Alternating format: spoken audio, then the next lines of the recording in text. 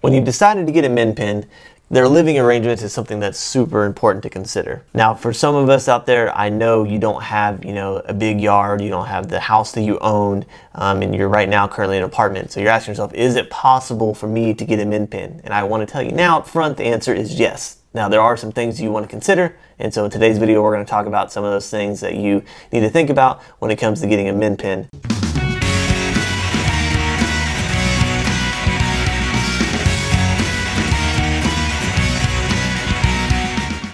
Hey guys, welcome back to MinPin Nation. My name is Nate. If this is your first time with us, thanks for joining us. If you have not done so yet already, make sure you hit that subscribe button down below, and that way you get all of our future videos, and don't forget the notification bell either.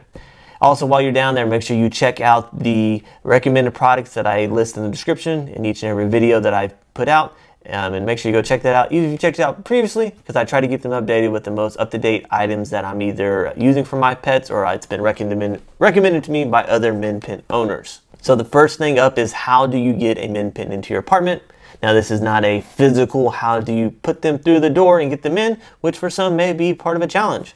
But we are actually talking about what are the rules and regulations to kind of bring them into an apartment. The main thing you need to consider is, is that unlike a lot of places that you live, some of the most regulated places are going to be apartment complexes that you're going to move into. So you definitely need to know up front if pets are even allowed, and if they are allowed, what you need to do to kind of, you know, bring them into your apartment.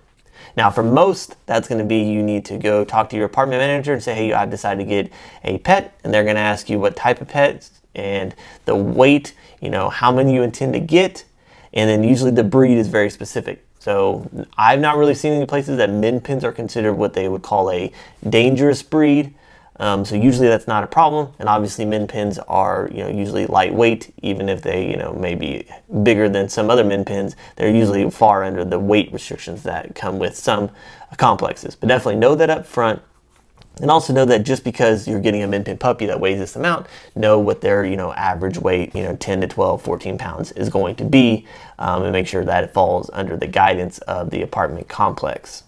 Now, something else to consider with the apartment complex as well is that they are going to require you to pay some fees up front. Usually that's going to be some type of pet deposit, which works just like your deposit that you paid. It's kind of a security deposit that you're going to pay a certain amount, could be three to five hundred dollars usually, and for some, that's going to be something that is just going to pay for damages on the way out when you decide to leave, you know, your apartment down the road.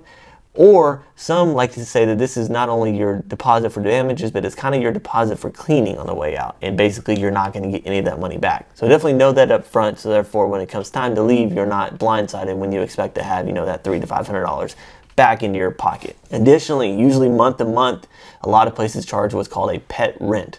So just as you get charged your monthly rent for your uh, staying there, pet rent is also something to consider. You know, usually it's thirty-five to fifty dollars, and um, it's something that is a continuous every you know every month um, part of your rent package. So make sure that on top of all the normal fees that you pay and you know the rent that you pay that you can afford it when you're looking to budgeting for a min pin.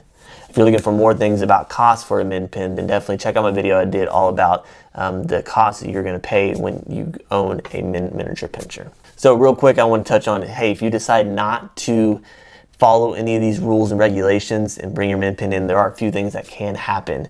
Um, for some, your landlord may be very lenient with you and they may just allow you to add them to the lease uh, and moving forward pay all the fees. Um, some could go as far as just charging you a fine of some kind on top of paying those fees. Um, but most of the times they do have the right to either evict a pet, which means either you're going to get rid of the pet or you're going to be moving pretty quickly and then now you're going to be paying all those fees for breaking your lease. Or some could go to the extreme nature, usually they don't go this far, but could go to the fact of actually evicting you from the property and therefore possibly suing you for all you know the remainder that you would not pay. So just make sure that you understand the risk if you're going to try to bring your min pin in without paying the fees, but it's probably not going to be worth it, and you're going to be able to sleep a lot better at night if you just get it you know square from day one. Okay, now that you have your min pin inside of the home, you paid all the fees, they are good standing citizens of the apartment complex. What is the next step? Well, the next step you need to know is is you need to be ready to do some training. So the big training you're going to be worried about is, is you're going to be worried about potty training and you're going to be worried about kind of, I would say, you know, their voice. You know, they're barking, they're yapping, they're whining and crying. Um, how do you deal with this? So when you are gone during the day, I would highly, highly consider that you look into either some type of doggy daycare, more so than even other places, um, because if the dog is whining during the day, if they're in a crate or any other situation you have set up for them, there's a lot less of a chance that you're going to even know about it for one, and two, there's more of a chance that people are going to hear it in an apartment complex and cause complaints, which then could, you know, result in problems for you. So definitely make sure that you check that out um, as a possible solution. And then the other one is is the fact of get some type of you know those Furbo dog cameras or the Pet Cube has one. There's a couple different ones on the market um, whatever one works for you, but it's something that you can kind of look in on your dog and, and kind of know what's going on. And that way you're not blindsided. If you do know there's a problem, you kind of see it's happening and you can kind of take some action. On top of that, you need to make sure that you are really, really good at providing the most calm environment. And if you can, try to provide them away from the walls that you know that are the most troublesome. You know, you will hear when there's obviously people right above you or below you or on the, each side.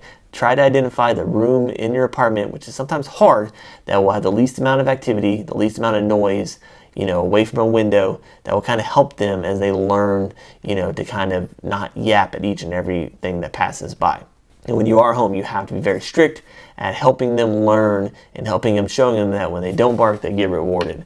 Um, and if you just continue to let them bark at those things every time someone walks by, then it's going to get very annoying for other people. And like I said, you run the risk of getting complaints and possibly even losing your min pin in your apartment. Okay, so let's talk about potty training now.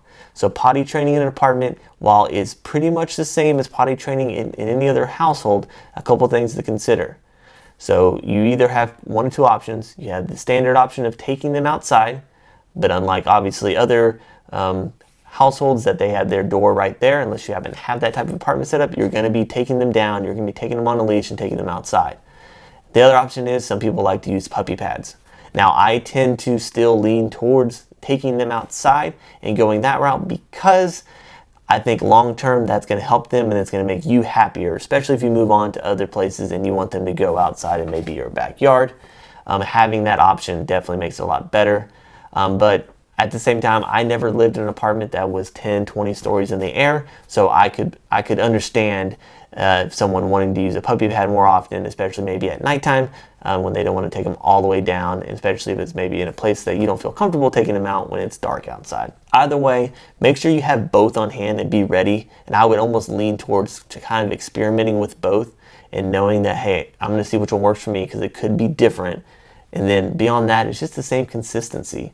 It's the same knowing that, and just know that up front. You know, you're in an apartment and you're going to go one of these two methods, and it's going to take time, and therefore it's going to take a lot longer to say, hey, a trip outside is not going to be a quick go out in your backyard. It's going to be a, you know, put the coat on, you know, make sure you go all the way downstairs, take them to the proper area, make sure you have all the proper bags that you need to scoop up after them and all those things.